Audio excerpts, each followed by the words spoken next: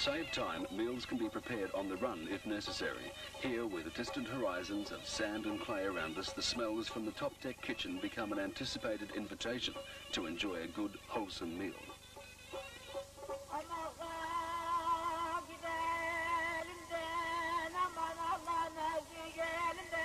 Heading north again, we travel an alternative route through Syria and enter eastern Turkey.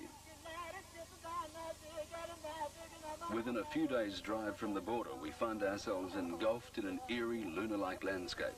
This is Göreme in the Cappadocia region of central eastern Turkey. The earth in this area is volcanic and erosion has caused the fragile tuff stone to take on strange shapes.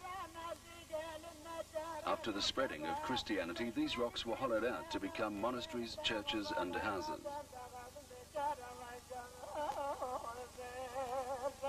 The 7th century, when Arab invaders swept west across Turkey, the inhabitants found a need in this area to band together. Rather than build houses, they found it much easier to hollow out shelters in the soft rock.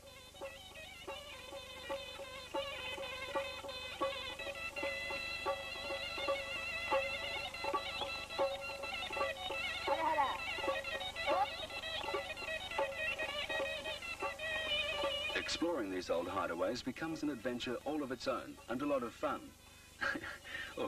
Although some may have to try a little harder if they want to reach those higher inlets.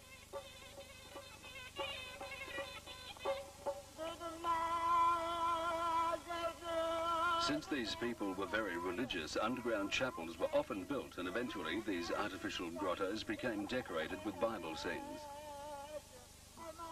A number of underground cities still exist which once housed large numbers of people. These were connected by a network of tunnels.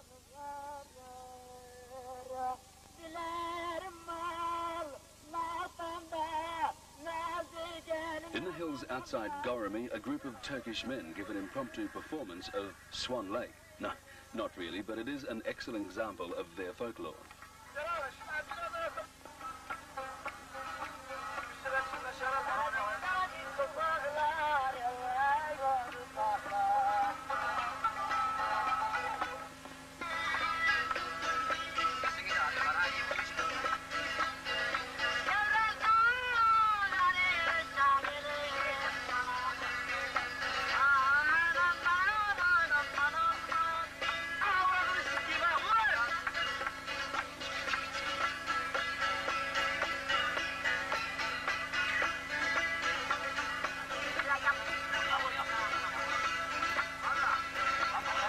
Most of the local people live simple existences by our standards, but they seem to get a lot of enjoyment out of singing and dancing, especially when the onlookers shows of interest.